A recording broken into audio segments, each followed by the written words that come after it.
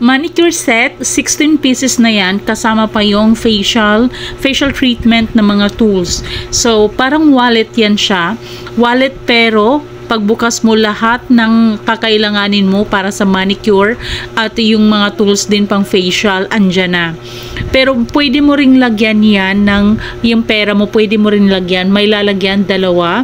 So, napakaganda niyan at yan, ah, depende sa'yo kung ano yung kulay yung ah, pipiliin mo. So, kung ano yung pipiliin mong kulay, ganyan din yung magiging kulay ng mga manicure set mo or yung facial treatment na tools. Napakamura lang din ito, 100 plus lang.